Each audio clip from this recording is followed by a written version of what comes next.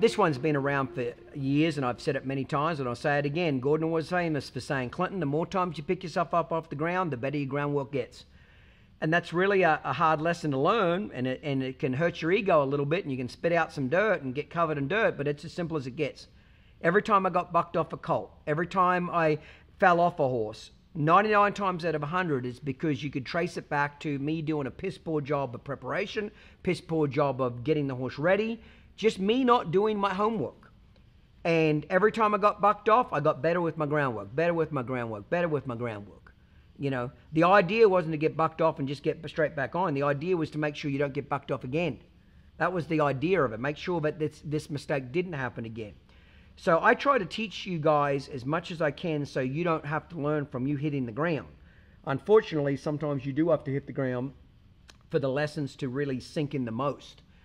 You know, I remember um, 10 years ago, I went to one, another guy that Ken Bray, he owns Equibrand, a big sponsor of mine, and I was bitching about things in the company and, and some employees in the company and so forth that drive me insane, and I lost a bunch of money and blah, blah, blah. And he just looked, he listened to me and he just calmly looked at me and he says, Clinton, sometimes you got to get a few bloody noses to figure out how the playground works.